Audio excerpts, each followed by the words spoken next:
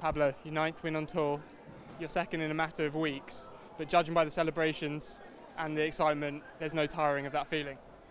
Oh well, I'm I'm super tired now. Uh, uh, what a what a day. Uh, I didn't feel any comfortable uh, this morning. Uh, start uh, start the day with a double bogey in the second, and then you know my caddy told me that that um, we were after the double bogey we were exactly in the position that we like chasing.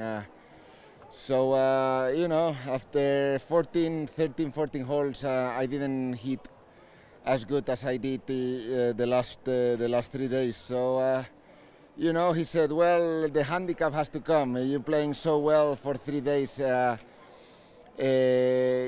good shots have to come in." And and what a three shots, uh, 15.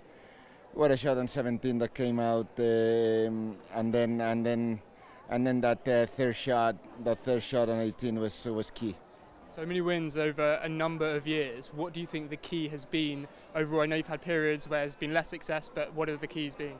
Well, to stay patient and, and to enjoy life. Uh, at the end of the day, uh, you know, uh, golf is a very important part of our lives, but uh, but you have to be uh, comfortable back home. Uh, you have to to be loved and uh, uh, and and you know to, to enjoy life, and, and that's what I do. Uh, you know, uh, Adriana is, is being such an important part of, of my life. Uh, is, is such an important part of my life that uh, that I cannot thank her enough. And your caddy as well. I heard you mentioning him. Do you want to give him a word? Yeah, I mean Raúl. Uh, you know, we've been uh, together for eight years, uh, and the first six years uh, together uh, without wins uh, for six years, and and we got patience. Uh, I know that. Uh, uh, to caddy through uh, through COVID was not easy, and, and to get no wins was was not easy. But four wins in, in 15 months is, is very special, and I have to to I have to thank him a lot. This is this is a big part big part of this trophy is, is his. Won all over the world, and now you've won the KLM Open. You put your name alongside the likes of Seve and other Spanish greats. How much does that mean? I mean, this is a, an, histori- an historical uh, trophy. This is one of the best. Uh, this is this is right up there uh, uh, of the of the most famous trophies uh, we have on the on the DP World Tour. So.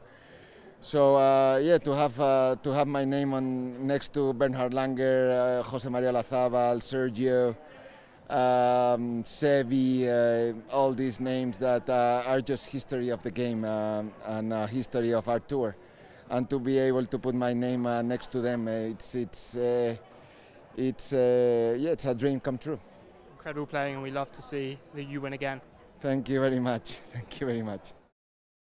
Pablo, if you can, just sum up the excitement and how incredible today has been getting this ninth win on tour. Eh, la verdad, la verdad es que ha sido un día muy duro. No me he sentido nada bien en el warm up, eh, empezando con doble bogey en el hoyo 2. Pero bueno, eh, Raúl, eh, yendo al tee yendo al tee el 3, me ha dicho, mira, eh, a nosotros nos gusta más ir por detrás en, el marcador que, yendo líderes. Y así, es- así es donde estamos después del doble bogey. Entonces, bueno, no hemos jugado nada bien en, los, en los primeros 14 hoyos.